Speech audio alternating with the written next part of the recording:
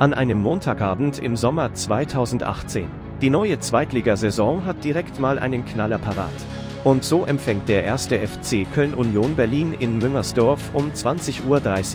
Die über 500 Kilometer Entfernung scheinen den Berlinern an diesem Tag nichts auszumachen und so findet sich ein beachtlicher Haufen im Gästeblock ein, welcher mit Bussen angereist ist.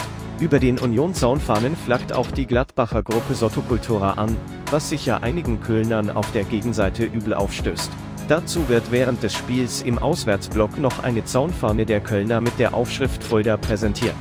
Diese Aktion gießt also nochmal zusätzlich Öl ins Feuer zwischen beiden Seiten.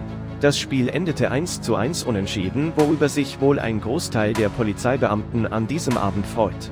Keine Seite ist sauer aufeinander, dass man verloren hat und so dürfte an einem Montagabend doch sicher weiter nichts passieren. Aber Pustekuchen.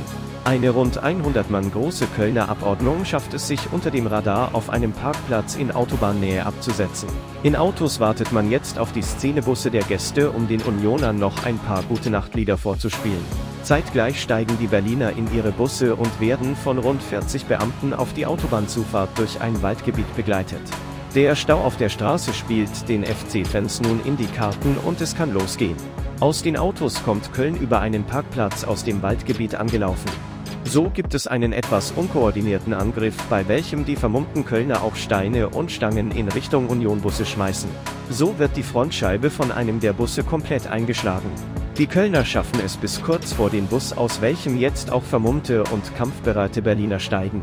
Für wenige Sekunden gibt es zwischen Einzelpersonen Kontakt, doch die herbeieilenden Polizisten unterbrechen das Chaos. Einige Kölner flüchten jetzt über den Wald zurück zu den abgeparkten Autos, andere machen weiter und versuchen nochmals die Polizeiketten mit hoher Gewalt zu durchbrechen. Über Waldwege und ohne Licht flüchten jetzt einige Autos der Heimfans durch die Polizeiketten hindurch. So werden im Nachgang 28 Personen der Heimszene festgenommen. Alle von ihnen erhalten in den nächsten Wochen darauf ein bundesweites Stadionverbot. Der Großteil wird die Zeit bis Dienstagnachmittag im Kölner Bau verbringen. Doch auch die Insassen von einem der Unionbusse müssen die Nacht hinter Kölner Gittern verbringen. So erreichten einige Berliner erst am Dienstagnachmittag wieder die Hauptstadt. Ein Kölner landete sogar vor Gericht, wo es anschließend zu einem längeren Prozess kam. Für mehr solcher Videos abonniere doch gerne diesen Kanal.